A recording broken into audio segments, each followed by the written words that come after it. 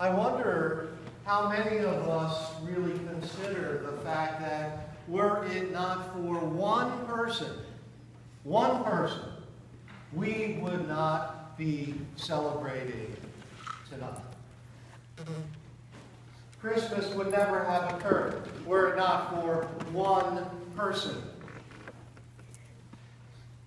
And you might be thinking, well, that person, of course, is the Lord Jesus Christ. And in a way, that's true. But none of it would have happened had it not been for the willing yes from the glorious, blessed Virgin Mary. She who said yes to God when everything in her conscious being must have been telling her, oh, no, no, no.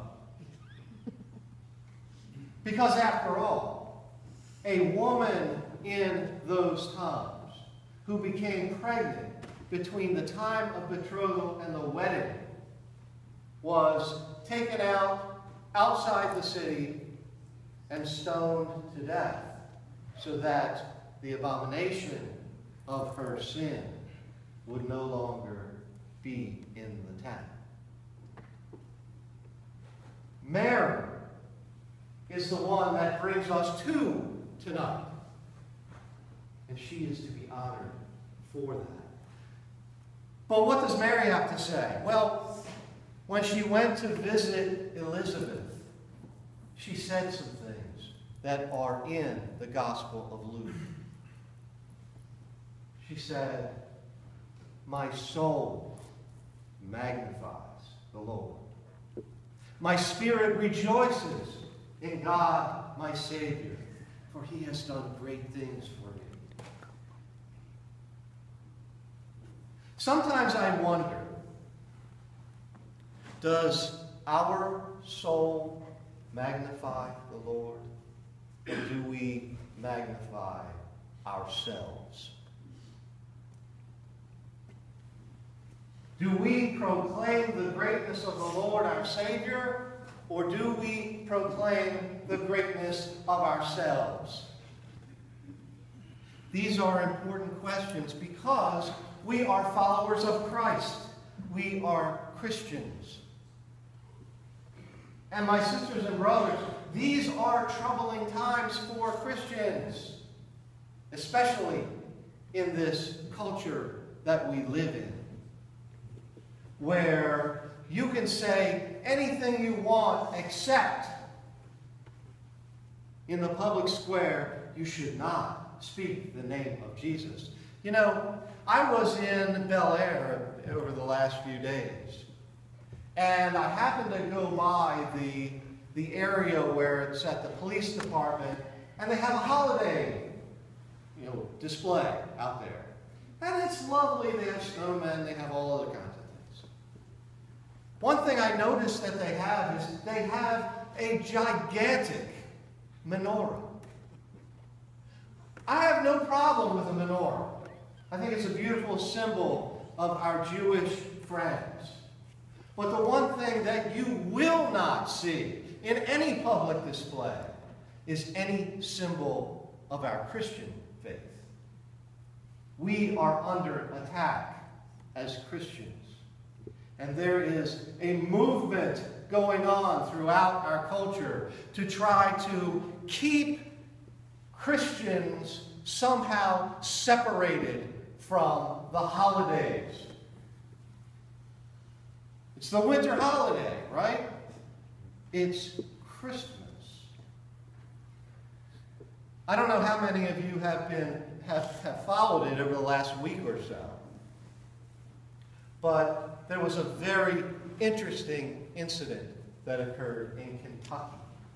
Let me start by saying, uh, many years ago, back in 1965, one of the TV networks entered into a contract with Charles Schulz to do a television Christmas show, a Charlie Brown Christmas. We all remember.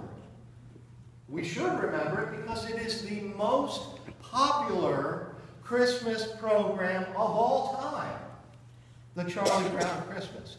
One thing you may not know is this CBS told Charles Schulz that they wanted to take out of his cartoon the words of Linus from the Gospel of Luke.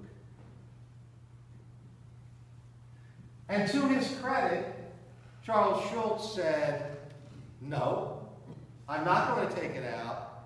Take it or leave it. And they decided they wanted to have the show. And so it went on. And again, it has been the most popular Christmas show of all time.